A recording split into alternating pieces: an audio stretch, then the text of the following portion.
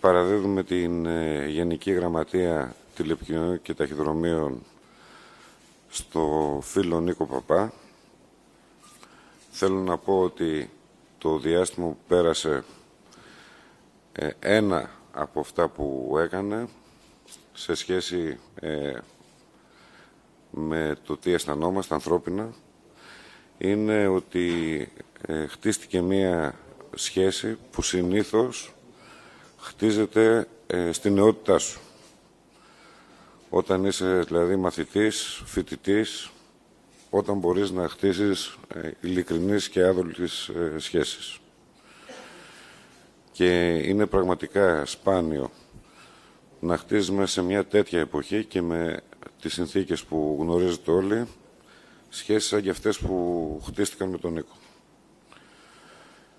Πιστεύω ότι ε, είναι χαρά, είναι μεγάλη χαρά για μένα που παραδίδω τη Γενική Γραμματεία Τηλεπικοινωνίων και Ταχυδρομείων στον Νίκο του Παπά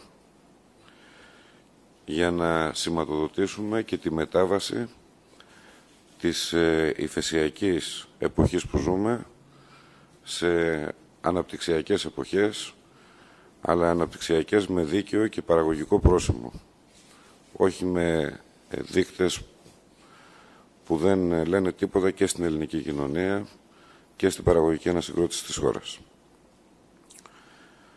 Συνηθίζεται στις ε, τελετές παράδοσης παραλαβής να γίνεται ένας απολογισμός. Εγώ θέλω να ξεχωρίσω σε επικεφαλίδες, σε τίτλους, κάποιες δράσεις που είναι σημαντικές κατά τη γνώμη μου για τη χώρα η πρώτη είναι οι θεσμικές αλλαγές για τη λειτουργία της Εθνικής Επιτροπής Τηλεπικοινωνίων και Ταχυδρομείων για να κατοχυρώσει μια πραγματικά ανεξάρτητη λειτουργία και όχι μια εξαρτημένη λειτουργία όχι από το πολιτικό σύστημα της χώρας μόνο, αλλά και από οικονομικά συμφέροντα. Και μαζί με αυτό να προετοιμάσουμε το νέο χάρτη συχνοτήτων και το χάρτη συχνοτήτων ραδιοφώνου η δεύτερη δράση είναι η δράση για τη λειτουργία των καιροσυστημάτων και την αδειοδότησή τους, που είναι κάτι που εκκρεμεί πάρα πολλά χρόνια και κινηθήκαμε στην κατεύθυνση και της ε, θεσμικής προετοιμασίας για να έχουμε αλλαγές, αλλά και στο να είμαστε αποτελεσματικοί. Πώς δηλαδή θα έχουμε καιροσυστήματα όχι μόνο της κινητής τηλεφωνίας, γενικότερα, ε, που θα μπορούν να αδειοδοτηθούν αλλά ταυτόχρονα θα μπορούν να προστατεύουν και τη δημόσια υγεία. Η τρίτη δράση ήταν δράση για το σταμάτημα της αιμορραγίας νέων επιστημόνων και επιστημόνων γενικότερα από το χώρο της πληροφορικής και των τηλεπικοινωνιών. Αυτό επιχειρήθηκε με τη συμφωνία που έγινε για την λειτουργία θερμοκοιτίδας νέων εταιριών και στις ε, τεχνολογίες πληροφορικής και των τηλεπικοινωνιών. Η τέταρτη δράση έχει να κάνει με τη δορυφορική πολιτική της χώρας, που ήταν ε, σε ανύπαρκτο επίπεδο. Όταν παραλάβαμε την κυβέρνηση, παραλάβαμε και την τελευταία θέση στην Ευρώπη στις τηλεπικοινωνίες και στην ευρυζωνικότητα. Έχουν ε, απελευθερωθεί περίπου 400 εκατομμύρια για την ε, πρόσβαση στα ευρυζωνικά δίκτυα νέας γενιάς και έχουν γίνει όλες οι προετοιμασίες προκειμένου η χώρα να αποκτήσει ένα νέο δίκτυο οπτικών ινών. Όπως ε, γνωρίζετε υπάρχουν και αναρτημένα αυτά τα σχέδια στο πακέτο Juncker για να μπορέσουμε να, να βρούμε και ιδιωτική συμμετοχή σε αυτό το εγχείρημα. Για να βγει και το δημοσιογραφικό μεροκάματο, να ανακοινώσουμε τέσσερις δράσεις που ήδη έχουν δρομολογηθεί και υλοποιούνται, που έχουν κοινωνική διάσταση, αλλά έχουν και εθνική διάσταση. Η πρώτη ανακοινώθηκε από τον Πρωθυπουργό στην 28 Οκτωβρίου και αφορά την παροχή δωρεάν ευρυζωνικής σύνδεσης στους μόνιμους κατοίκους των απομακρυσμένων νησιών. Η δεύτερη αφορά τη δωρεάν δορυφορική πρόσβαση των Ελλήνων που ανήκουν στη μουσουλμανική μειονότητα στη Θράκη εκεί δεν υπήρχε ε, πρόσβαση στην ελληνική τηλεόραση. Η τρίτη αφορά δωρεάν επιχορηγούμενες και επιχορηγούμενες ευρωζωνικές συνδέσεις στους πρωτοετής φοιτητές μας στην τριτοβάθμια εκπαίδευση και η τέταρτη αφορά ε, δωρεάν και επιχορηγούμενες ευρωζωνικές συνδέσεις στα άτομα με ειδικές ανάγκες που ανήκουν σε ευάλωτα ε, κοινωνικές και οικονομικές ευάλωτες ομάδες. Ολοκληρώνοντας θα ήθελα να πω ότι αυτό που έγινε με, την, ε, με τον ανασχηματισμό, με την ίδρυση του Υπουργείου που αναλαμβάνει ο Νίκος, είναι ένα αίτημα του τεχνικού κόσμου της χώρας, του κόσμου της πληροφορικής και των τηλεπικοινωνιών για δεκαετίες, να υπάρχει δηλαδή ένα Υπουργείο που θα έχει αναφορά αυτός ο χώρος. Όπως γνωρίζετε ήταν πολυδιασπασμένος, ήταν σε τέσσερα Υπουργεία και σε αρκετούς φορείς και διαχειριστικές αρχές. Είναι ε, πραγματικά μετά την πώληση του Οργανισμού Τηλεπικοινωνιών και ε, του Οργανισμού Τηλεπικοινωνιών Ελλάδος είχαμε μια γενική γραμματεία που ήταν ο φτωχός συγγενής της εκάστοτε κυβέρνησης και σε στελεχειακό δυναμικό και σε δράσεις. Δεν υπήρχε ένα κέντρο για να μπορεί να προωθεί τις εθνικές πολιτικές στο χώρο της πληροφορικής και των τηλεπικοινωνιών και είναι ευτύχημα που όχι μόνο προχωρήσαμε για να ιδρυθεί αυτό το Υπουργείο, αλλά το Υπουργείο το αναλαμβάνει ο Νίκος ο Παπάς, ένας άνθρωπος που είναι οραματιστής και που προχωρά με όποιο κόστος τις πολιτικές που πιστεύει. Σε ευχαριστώ πολύ.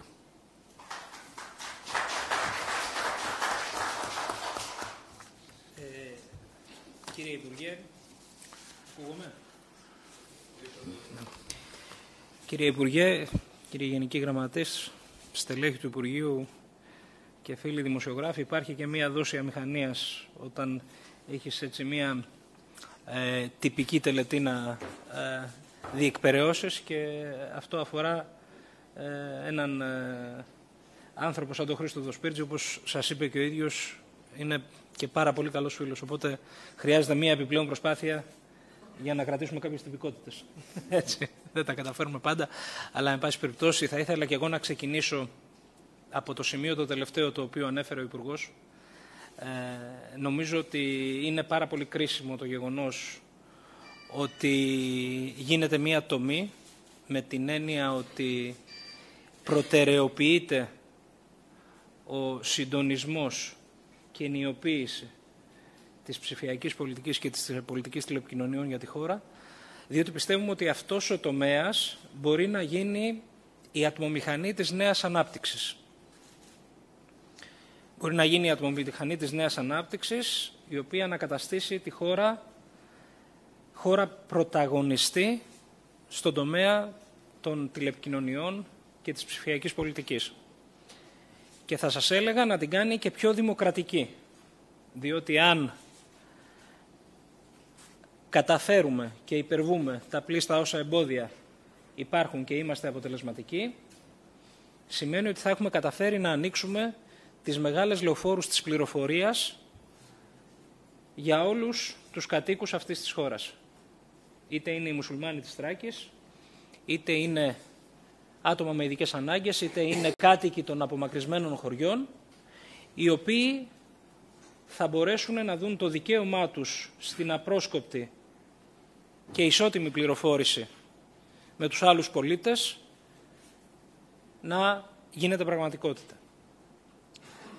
Είναι πολλά τα προβλήματα τα οποία πρέπει να υπερβούμε οι προηγούμενες κυβερνήσεις προφανώς, για να το πω ευγενικά, ε, αμέλησαν ε, το να αφοσιωθούν στο να αξιοποιήσει η χώρα το συγκριτικό της πλεονέκτημα. Και ποιο είναι αυτό, είναι η γεωγραφική της θέση και το ανθρώπινο δυναμικό το οποίο είναι αξιοζήλευτο και στον τομέα των τηλεπικοινωνιών και της ψηφιακής πολιτικής. Η χώρα έχει μια γεωγραφική θέση η οποία της δίνει ιδιαίτερο διεθνές γεωπολιτικό βάρος, μπορεί να γίνει κόμβος εμπορίου, κόμβος τηλεπικοινωνιών και σημείο αναφοράς για τις σχέσεις της Ευρώπης με τον υπόλοιπο κόσμο. Και για να το καταφέρει αυτό πρέπει να έχει σύγχρονα, αξιόπιστα, εκτεταμένα δίκτυα. Και αυτή τη μάχη νομίζω ότι είμαστε ε, έτοιμοι να τη δώσουμε. Παντού και πάντα βεβαίως υπάρχουν δυνάμεις αδράνειας και δυνάμεις αντίρροπες, αλλά πραγματικά ε, νομίζω ότι εδώ πέρα μπορεί να δοθεί μία καινούρια πνοή και να σηματοδοτηθεί ε, κέρια αυτό που λέμε παντού και πάντα το νέο μοντέλο ανάπτυξης για την Ελλάδα.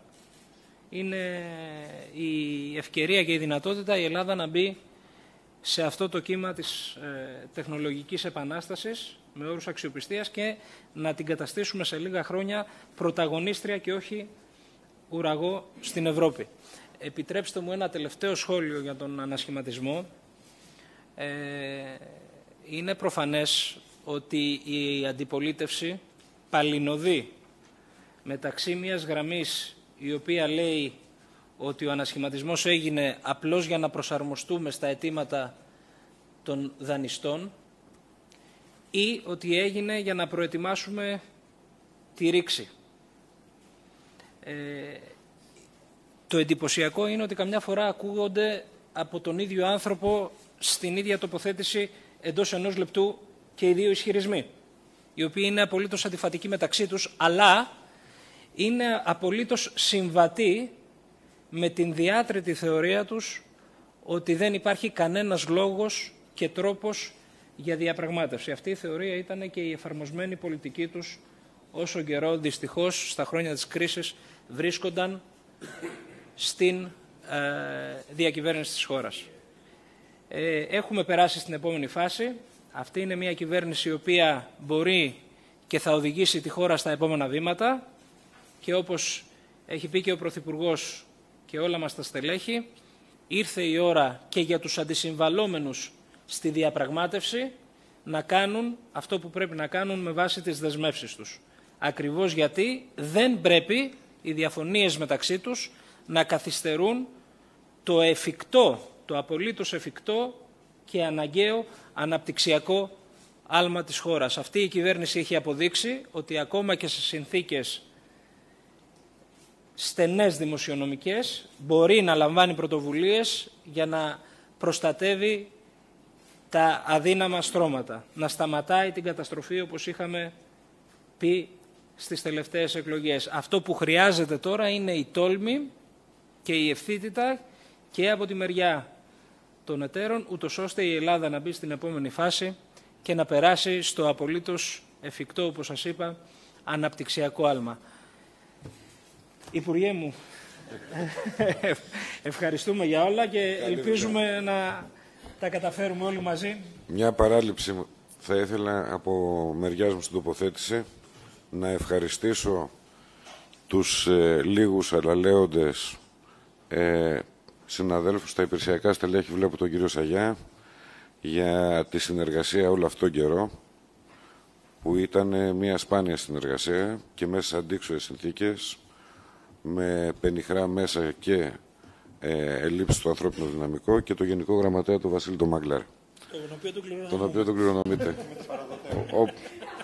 Να είστε καλά. Καλημέρα.